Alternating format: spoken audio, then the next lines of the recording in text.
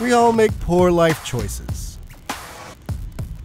Take these two guys, for example. They're the founders of a self driving car company called Zoox and they've decided it makes sense to try and compete against this. Waymo, the Google self-driving car project, Cruise Automation, Daimler, Baidu, Uber, and Lyft.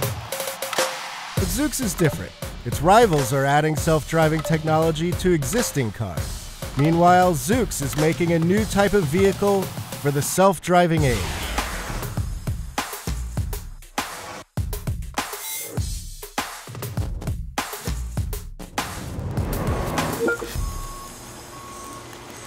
Basically, Zoox is making a robot, and its early incarnation looks like the love child of the Matrix, Mad Max, and Transformers franchises. This is Tim Kentley-Klay. He hails from Australia, and down under, he was a well known designer and ad guy. One day he had an epiphany, a vision of the future full of robotic vehicles, and came here to build them. I sort of just saw the future of how the whole system could work. Said, okay, I need to find a brilliant computer scientist. And so that led me on a journey for six months actually when I ended up finding Jesse. That brilliant computer scientist is Dr. Jesse Levinson, a Stanford grad who was sought after by none other than Google itself. I actually visited Google X in 2013 to come and speak on my vision for autonomy. In talking, a fellow said there's this one guy and he's really good and we can't get him. So that was my signal to go and get him. you know, a lot of your colleagues have run off to companies like Google or, or Uber to retrofit a cars. What, what drew you to this particular task and, and this approach? I've been working on self-driving cars since 2005 and it's pretty clear even back then that it was going to be one of the more transformative technologies for society. It, it, wasn't enough to just solve the technology. You need a product uh, and you need a business that makes sense. And I hadn't seen that in any other company until I met Tim and he shared his high-level vision for what Zoox could be. And that vision is a system of completely autonomous robotic vehicles that can be summoned just like a Lyft or, dare I say it, an Uber. We have a very clear vision at Zoox, which is that AI and mobility will take us out of the age of the automobile and into the next mobility age, which for us is robotics, autonomous transportation.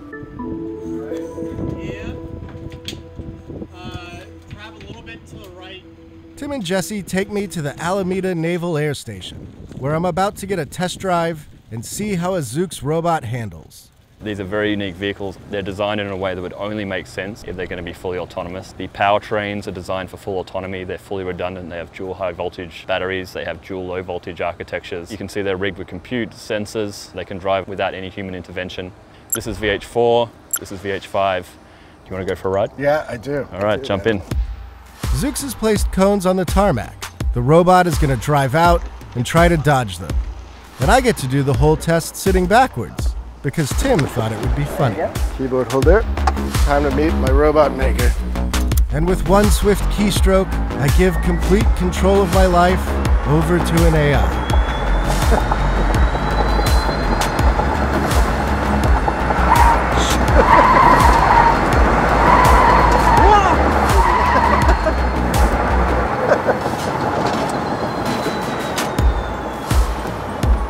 That really doesn't get old, man. it's like being on a ride at Disney. These AI robots crank through the course at 45 miles per hour, and the VH5 is set to rip through it at a delightful 75 miles per hour. We can choose all-wheel steering, two-wheel steering, crab steering, dual motors, and then we have direction. I like the crab steering. Zoox got its start here in this abandoned firehouse back in 2015 with only six employees. They've since raised an astonishing $800 million and have expanded their operations into a one stop robot making shop.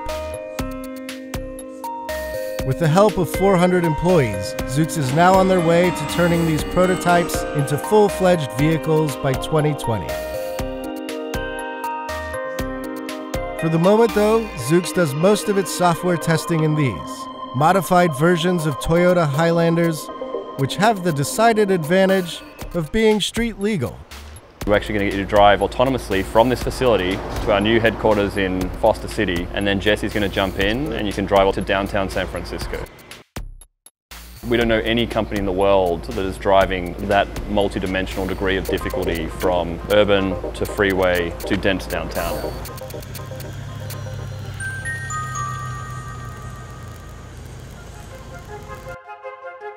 So that's a that's a bicycle. That, that was a cyclist, yes. That's the car behind us.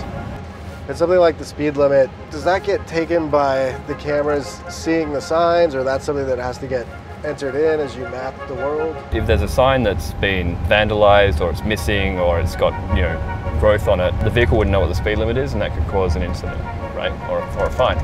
So speed limits are really well understood on the road networks, so we, we put that in as a prior on the map. Okay. So coming up right here, we have to do a left turn yield. So you got, so you just got to see this other car. Yeah, so we're a bit concerned about this car that's coming towards us from a prediction level, so we just want to make sure that they do the right thing. And now we're yielding. If you look on this screen, see there's yellow here? Yeah. That means we're yielding for that vehicle. Okay. and now we're off. Um, we're about to drive onto the freeway, so this, this will be uh, interesting. You can see there's quite a bit of traffic on our left, Yeah. and uh, the is indicating at the moment. It's going to brake a little bit harder because we've got this vehicle right on our six, Yeah. and we're running out of runway. And now we merge in. So that would have been a hard situation even for a human driver. We, we needed to merge, and that person on the left was not letting us in. We tried to go in front, they stayed with us, and then we had to brake, let them go past, and then we pulled in. And Yeah. that was that was all autonomous, and you can see how smooth that was. Good robot. So one of the hardest things to do with autonomous driving is actually prediction. Because you not only need to understand what the state of the world is, you have to say, well, what's the state of the world in the near future?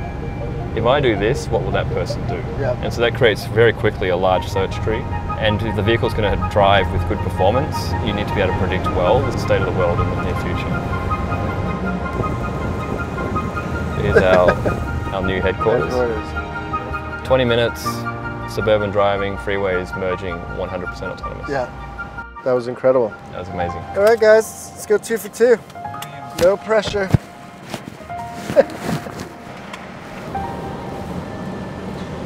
What's like in each box?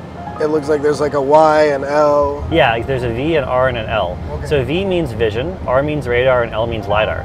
So we use cameras, we use radar, and we use LiDAR. Cameras are really good at seeing what things are. Radar is really good at seeing where things are in terms of how far away they are. And then LiDAR is really good at telling you where things are in 3D at pretty high resolution and pretty high accuracy. And so what we do is we fuse those three sensors together in real time to form form one coherent view of the world, which is actually what you're looking at on the screen. Definitely crowded. I mean, that must make it harder. I guess. Oh yeah, Yeah. Yeah, it's a lot to keep track of. We have made it autonomously to San Francisco. San Francisco. As far as the public knows, Zoox, along with Waymo and GM Cruise, are the only companies capable of doing this kind of drive. And this is the first time they've ever shown the cars in action to the public. Is it madness to take on many of the world's leading automotive and tech companies at the same time? Yes, of course it is. But I say go forth, Tim and Jesse. We all await our Zoox robotic rideshare of the future. Thanks for watching. And if you want to see more Hello World, click on the link to subscribe.